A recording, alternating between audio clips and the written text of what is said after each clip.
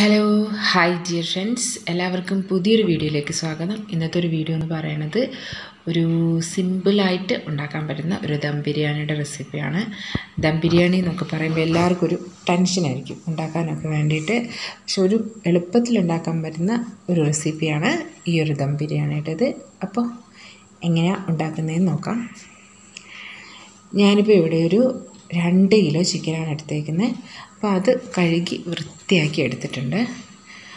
ഇനി ഇതിലേക്ക് കുറച്ച് കാര്യങ്ങൾ ചേർത്ത് കൊടുക്കാനുണ്ട്. ഒരു ടീസ്പൂൺ മുളക് പൊടി ചേർത്ത് കൊടുക്കാം. പിന്നെ ഇതിലേക്ക് ചേർക്കുന്നത് അര ടീസ്പൂൺ മഞ്ഞൾപ്പൊടി. പിന്നെ ചേർത്ത് കൊടുക്കുന്നത് ഒരു വൺ ടീസ്പൂൺ മല്ലിപ്പൊടിയാണ്. പിന്നെ ഇതിലേക്ക് ചേർത്ത് കൊടുക്കുന്നത് ഒരു വൺ ടീസ്പൂൺ ചിക്കൻ മസാലയാണ്. പിന്നെ ഇതിലേക്ക് ചേർത്ത് കൊടുക്കുന്നത് ഒരു അര ടീസ്പൂൺ ഗരം മസാല കൂടിയാണ്. ഇനി ഇതിലേക്ക് ആവശ്യത്തിന് ഉപ്പ് കൂടെ ചേർത്ത് കൊടുക്കാം. ഒരു ടീസ്പൂൺ ഉപ്പ് ചേർത്ത് കൊടുത്തിട്ടുണ്ട്. ഇനി വേണമെങ്കിൽ നോക്കിയിട്ട് ഉപ്പൊക്കെ ടേസ്റ്റിന് ചേർത്ത് കൊടുക്കാവുന്നതാണ്. ഇനി നന്നായിട്ടൊന്ന് കൈവച്ചിട്ട് മിക്സ് ചെയ്തെടുക്കാം. മസാലയൊക്കെ ചിക്കനിലെല്ലാം നന്നായിട്ട് പിടിക്കാൻ വേണ്ടിയിട്ട് നന്നായിട്ട് മിക്സ് ചെയ്തെടുക്കണം.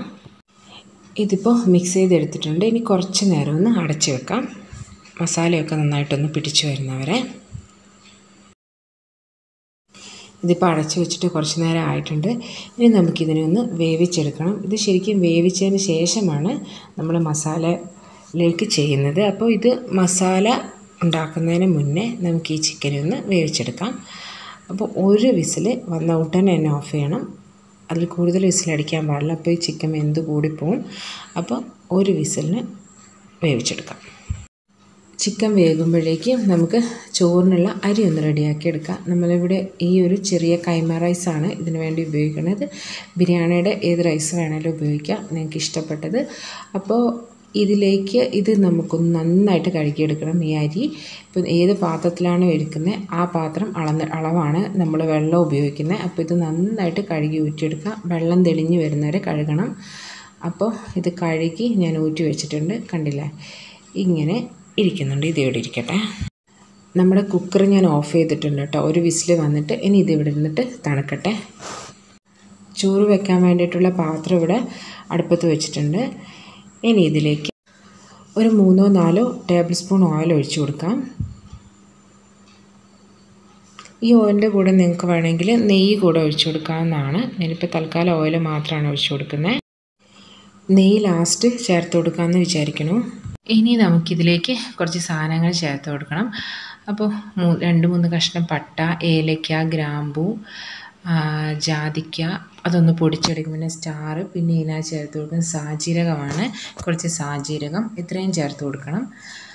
അപ്പോൾ ഇതൊക്കെ ചേർത്ത് കൊടുക്കാം. ഇതെല്ലാം ചേർത്ത് കൊടുത്തതിന് ശേഷം ലാസ്റ്റ് ഒരു മീഡിയം സൈസ് സവാള ചെറുതായിട്ട് കനം കുറച്ചരിഞ്ഞത് കൂടെ ചേർത്ത് കൊടുക്കണം. ഇതിപ്പം എല്ലാം ചേർത്ത് കൊടുത്തിട്ടുണ്ട്. ഇനി ഇതിലേക്ക് ഒരു സവാള അരിഞ്ഞത് കൂടെ ചേർത്ത് കൊടുക്കാം.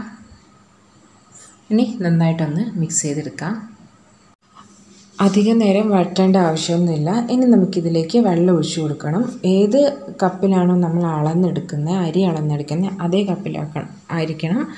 വെള്ളം ഒഴിച്ചു കൊടുക്കേണ്ടത് ഒരു കപ്പിന് ഒന്നേ മുക്കാൽ കപ്പ് വെള്ളം എന്നുള്ള കണക്കാണ്. അപ്പോൾ ഈ ഒരു കപ്പിൽ തന്നെ അരി എടുത്ത കപ്പിൽ തന്നെ ഞാൻ ഒന്നേ മുക്കാൽ കപ്പ് വെള്ളം ഒഴിച്ചു കൊടുക്കുകയാണ്.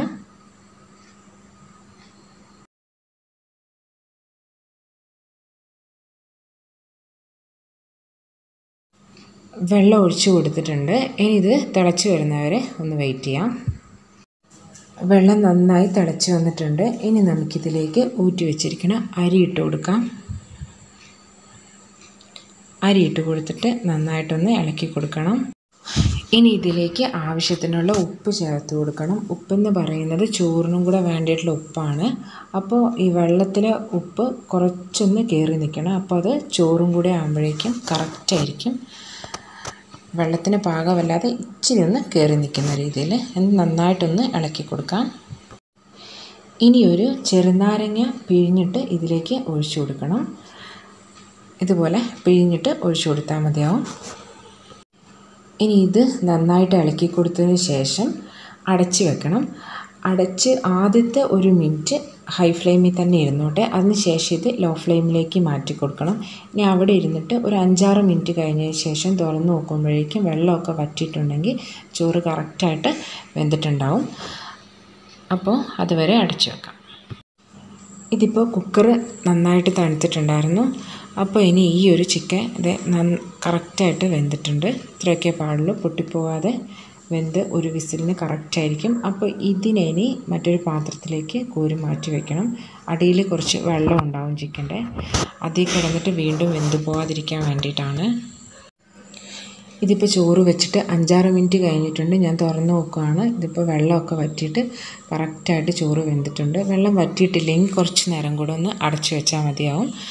അപ്പോൾ ഇതിനെ ഇനി ഇളക്കിയിട്ട് കൊടുക്കാം. നന്നായിട്ടൊന്ന് ഇളക്കിയിട്ടതിന് ശേഷം ഈ ചോറിനെ ഒന്ന് മാറ്റി വയ്ക്കാം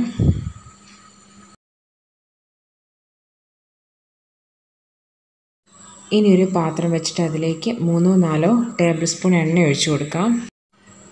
എണ്ണ നന്നായി ചൂടായതിനു ശേഷം ഇതിലേക്ക് അണ്ടിപ്പരിപ്പും മുന്തിരിയും ഇട്ടിട്ടൊന്ന് വറുത്ത് കോരി വെക്കണം. ചോറിലേക്ക് വേണ്ടിയിട്ടുള്ളതാണ്. ഇനി ഈ എണ്ണയിലേക്ക് ഒരു വലിയ സവാള വളരെ നേർപ്പിച്ചരിഞ്ഞതും കൂടെ ചേർത്ത് കൊടുത്തിട്ട് ഒന്ന് വറുത്തെടുക്കണം. വളരെ നേർത്ത് അരിഞ്ഞെടുക്കുകയാണ് ഏറ്റവും നല്ലത്. അപ്പോൾ നന്നായിട്ട് ഈ ഉള്ളി ഒന്ന് വറുത്ത് കോരാം. ഇതിപ്പോൾ റെഡി ആയിട്ടുണ്ട്. ഈ ഒരു ലൈറ്റ് ബ്രൗൺ കളർ ആകുമ്പോഴേക്കും ഇതിനെ കോരി മാറ്റാം. പിന്നെ ഇത് ഇരുന്നിട്ടൊന്ന് കുറച്ചും കൂടി ഒന്ന് മൂക്കും. അപ്പോൾ അത് കളറ് കറക്റ്റായിട്ടിരിക്കും ഇനി ബാക്കിയുള്ള എണ്ണയിലേക്ക് ഒരു കഷ്ണം പട്ട ഇട്ട് കൊടുക്കാം. എന്നിട്ട് ഇതിലേക്ക് പെരിഞ്ജീരകമാണ് ഇട്ട് കൊടുക്കുന്നത് ഒരു ടീസ്പൂൺ പെരിഞ്ജീരകം ഇട്ട് കൊടുക്കാം. നന്നായിട്ടൊന്ന് പൊട്ടി വരട്ടെ. ഇനി ഇതിലേക്ക് വലിയ നാല് സവാള അരിഞ്ഞത് ചേർത്ത് കൊടുക്കണം. ചെറുതായിട്ട് അരിഞ്ഞെടുത്താണ് അതും കൂടെ ഇതിലേക്ക് ഇട്ട് കൊടുക്കാം. നന്നായിട്ടൊന്ന് ഇളക്കി കൊടുത്തിട്ട് ഇതിലേക്ക് കുറച്ച് ഉപ്പ് ചേർത്ത് കൊടുക്കാം. ഉള്ളി പെട്ടെന്നൊന്ന് വാടി വരാൻ വേണ്ടിയാണ് ഉപ്പിട്ട് കൊടുത്തേക്കുന്നത്. കുറച്ച് ഉപ്പിട്ട് കൊടുത്താൽ മതി. നമ്മൾ ചിക്കനിൽ ഓൾറെഡി ഉപ്പിട്ടാണ്. മസാലയ്ക്ക് വേണ്ടി മാത്രമേ ഇനി ഉപ്പ് വേണ്ടൂ. ഉള്ളി ചെറുതായിട്ടൊന്ന് വാടി വരുമ്പോഴേക്കും അതിലേക്ക് ഒരു ടേബിൾ സ്പൂൺ ഇഞ്ചി ചതച്ചതും ഒരു ടേബിൾ സ്പൂൺ വെളുത്തുള്ളി ചതച്ചതും കൂടെ ചേർത്ത് കൊടുക്കണം. ഇനി നന്നായിട്ടൊന്ന് ഇളക്കി കൊടുക്കാം. ഇനി ഇതിലേക്ക് രണ്ടോ മൂന്നോ പച്ചമുളക് അരിഞ്ഞതും കൂടെ ചേർത്ത് കൊടുക്കാം. ഒരു നാല് പച്ചമുളക് അരിഞ്ഞതാണ് ചേർത്ത് കൊടുത്തിരിക്കുന്നത്. ഇനി നന്നായിട്ട് ഇളക്കി കൊടുക്കാം. ഉള്ളി ഇപ്പോൾ നന്നായിട്ട് വാടി വന്നിട്ടുണ്ട്. ഇനി ഇതിലേക്ക് മൂന്ന് വലിയ തക്കാളി അരിഞ്ഞത് കൂടെ ചേർത്ത് കൊടുക്കാം. തക്കാളിയും ഉള്ളിയും എല്ലാം കൂടെ നന്നായിട്ടൊന്ന് വഴറ്റിയെടുക്കാം. ഇതിപ്പോൾ തക്കാളിയൊക്കെ നന്നായിട്ട് ഉടഞ്ഞു വന്ന് വരുന്നുണ്ട്. ഈ ഒരു സ്റ്റേജ് ആകുമ്പോഴേക്കും തീ ഒന്ന് ലോ ഫ്ലെയിമിലേക്ക് മാറ്റി കൊടുക്കാം. ഇനി ഒന്ന് തീ ഒന്ന് ചൂടൊന്ന് കുറഞ്ഞു വരണം. അപ്പോഴേക്കും നമുക്ക് പൊടികളൊക്കെ ചേർത്ത് കൊടുക്കാനുള്ളതാണ്. അധികം ചൂടിലോട്ട് പൊടികൾ ഇടുമ്പോഴേക്കും എല്ലാം കരിഞ്ഞു പോവും. അതുകൊണ്ടാണ് തീ കുറച്ച് മുന്നേ കുറച്ച് വെക്കുന്നത്. ഇനി ഇത് കിടന്നിട്ട് തക്കാളി ഒന്ന് ഉടച്ചെടുക്കണം. ഇതിപ്പോൾ റെഡി ആയിട്ടുണ്ട്. ഇനി ഇതിലേക്ക് ഒരു അര ടീസ്പൂൺ മുളക് പൊടി ഇട്ട് കൊടുക്കുക മുളക് പൊടി കുറച്ച് മതിയാവും. ഇതിന് ഓൾറെഡി എരിവുണ്ട്. അപ്പോൾ ഇതിലേക്ക് ഒരു കാൽ ടീസ്പൂൺ മഞ്ഞൾപ്പൊടി ഇട്ട് കൊടുക്കാം. കാൽ മുതൽ അര വരെ ഇട്ട് കൊടുക്കാവുന്നതാണ്. ഇനി ഇതിലേക്ക് ചേർത്ത് കൊടുക്കുന്നത് ഒരു ടേബിൾ സ്പൂൺ മല്ലിപ്പൊടിയാണ്. അതുകൂടെ ചേർത്ത് കൊടുക്കാം. ഇനി ഇതിലേക്ക് ഒരു ടീസ്പൂൺ ഗരം മസാല പൗഡർ കൂടെ ചേർത്ത് കൊടുക്കണം.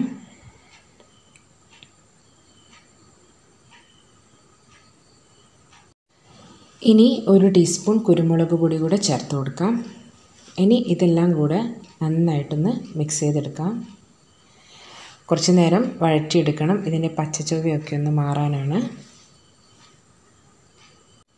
ഒന്നോ രണ്ടോ മിനിറ്റ് ഒന്ന് വഴറ്റിയാൽ മതിയാവും. ഇതിലേക്കൊരു അര ടീസ്പൂൺ കൂടി ഗരം മസാല ചേർത്ത് കൊടുത്തിട്ട് വീണ്ടും നന്നായിട്ട് ഇളക്കി കൊടുക്കാം. നമ്മുടെ മസാല ഇപ്പോൾ ഇവിടെ റെഡി ആയിട്ടുണ്ട്. ഉപ്പ് വേണമെങ്കിൽ നോക്കിയിട്ട് ചേർത്ത് കൊടുക്കാവുന്നതാണ്. ഇനി ഇതിലേക്ക് വേവിച്ച് വെച്ചിരിക്കുന്ന ചിക്കൻ ചേർത്ത് കൊടുത്തിട്ട് നന്നായിട്ട് മിക്സ് ചെയ്തെടുക്കാം. ഇതിപ്പോൾ നന്നായിട്ട് മിക്സ് ചെയ്തെടുത്തിട്ടുണ്ട് മസാലയും ചിക്കനും ഇനി ഇത് അടച്ചു വെച്ചിട്ട് ലോ ഫ്ലെയിമിൽ ഒരു പത്ത് മിനിറ്റ് അടച്ചു വെക്കണം. അപ്പോൾ മസാലയും ചിക്കനും ഒക്കെ നന്നായിട്ട് മിക്സായിട്ട് നല്ലൊരു ടേസ്റ്റ് വരും. അപ്പോൾ അടച്ചു വെച്ചേക്കാം. ഇതിപ്പോൾ തുറന്ന് നോക്കാം. ഇപ്പോൾ ചിക്കനിലൊക്കെ നന്നായിട്ട് മസാലയൊക്കെ പിടിച്ചിട്ടുണ്ട്. ഇനി ഇനി ഇതിലേക്ക് നേരത്തെ വറുത്ത് മാറ്റി വെച്ചിരിക്കുന്ന സവാള ഉണ്ടല്ലോ ഇത് കുറച്ചെടുത്തിട്ട് ഇതിലേക്കൊന്ന് പൊടിച്ച് ചേർത്ത് കൊടുക്കണം. ഒന്ന് കൈകൊണ്ട് ഞെരടിയിട്ട് ചേർത്ത് കൊടുത്താൽ മതി. ഇതുപോലെ ചേർത്ത് കൊടുക്കാവുന്നതാണ്. ഇതൊരു പ്രത്യേക ടേസ്റ്റാണ് നമ്മുടെ ഈ ഒരു മസാലയ്ക്ക് കിട്ടുന്നത്. ഇനി ധാരാളം മല്ലിയില ചേർത്തിട്ട് മിക്സ് ചെയ്തിട്ട് നന്നായിട്ടൊന്ന് മിക്സ് ചെയ്തിട്ട് ഓഫ് ചെയ്തിട്ട് അടച്ചു വെച്ചേക്കാം.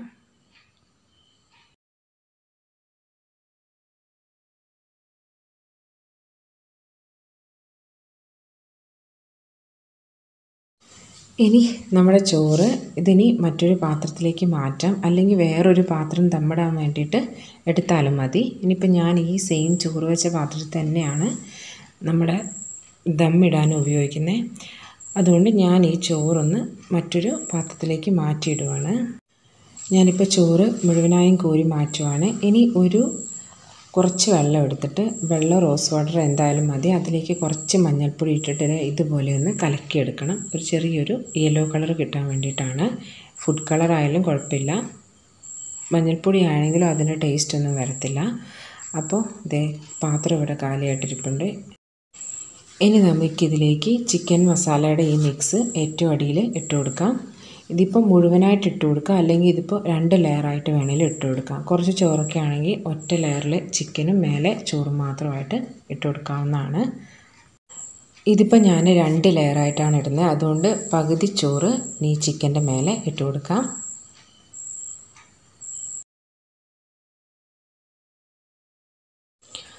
ചോറൊന്ന് ഇങ്ങനെ നിരത്തി കൊടുത്തതിന് ശേഷം ഇതിലേക്ക് നമ്മൾ മിക്സ് ചെയ്ത് വെച്ച മഞ്ഞളിന്റെ വെള്ളം ഉണ്ടല്ലോ യെല്ലോ കളറോ അത് ഇതിന് മേലെ അവിടെ അവിടെ ആയിട്ട് കുറച്ച് കുറച്ച് ഒഴിച്ചു കൊടുക്കണം. മൊത്തത്തിൽ ഒഴിച്ചിട്ട് യെല്ലോ കളർ വരാൻ പാടില്ല.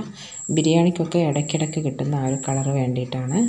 ഇനി മുകളിലായിട്ട് കുറച്ച് മല്ലിയില ഇട്ട് കൊടുക്കാം. ഇനി വറുത്ത് വെച്ചിരിക്കുന്ന കാഷ്നട്ടും മുന്തിരിയും സവാളയൊക്കെ ചേർത്ത് കൊടുക്കാവുന്നതാണ്. കുറച്ച് പകുതി ചേർത്ത് കൊടുക്കാവുന്നതാണ്. ഇനി ബാക്കിയുള്ള ലെയറും ഇതുപോലെ തന്നെ ഒരു സെക്കൻഡ് ലെയർ കൊടുക്കാവുന്നതാണ്. ഫസ്റ്റ് ചെയ്ത പോലെ തന്നെ ചിക്കൻ ഇടുക ചോറിടുക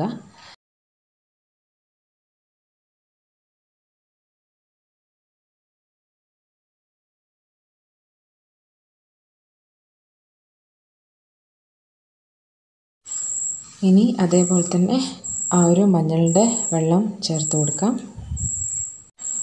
മല്ലിയില ഇട്ട് കൊടുക്കാം. ബാക്കിയുള്ള അണ്ടിപ്പരിപ്പ് മുന്തിരി സവാള എല്ലാം ഇട്ട് കൊടുക്കാം.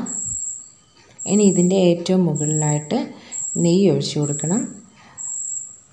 നെയ്യ് ചോറിന് ചുറ്റും കുറേശ്ശെ കുറേശ്ശെ ഒഴിച്ചു കൊടുക്കാവുന്നതാണ്.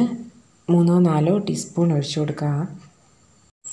ഇനി നമുക്കിത് അടച്ചു വെച്ചിട്ട് ഒരു ലോ ഫ്ലെയിമിൽ ഒരു പത്ത് മിനിറ്റ് വയ്ക്കാം അപ്പോഴേക്ക് എല്ലാം കൂടെ നന്നായിട്ടൊന്ന് മിക്സായിട്ട് റെഡി ആയിട്ടുണ്ടാവും നമ്മുടെ ദമ്മ്. ബിരിയാണി. ഇത് സിമ്പിളായിട്ടുള്ളൊരു ദം ബിരിയാണിയാണ്.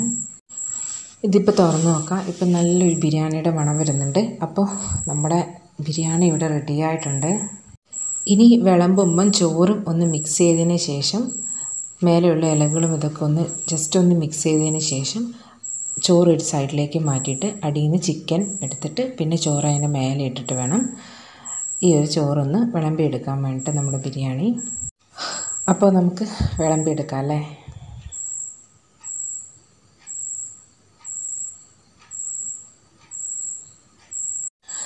അപ്പോൾ ഞാൻ നമ്മുടെ ചോറ് വിളമ്പി എടുത്തിട്ടുണ്ട് അപ്പോൾ എളുപ്പത്തിൽ ഉണ്ടാക്കാൻ പറ്റുന്ന ഒരു ബിരിയാണി അല്ലേ എല്ലാവരും ഒന്ന് ട്രൈ ചെയ്ത് നോക്കണം. നല്ല ടേസ്റ്റുള്ള ഒരു ബിരിയാണിയാണ്. ദം ബിരിയാണി ആർക്ക് വേണേലും പെട്ടെന്ന് ഉണ്ടാക്കിയെടുക്കാൻ പറ്റും. അങ്ങനെ കഷ്ടപ്പാടൊന്നും ഇല്ലാത്ത ഒരു ചിക്കൻ ബിരിയാണിയാണ്.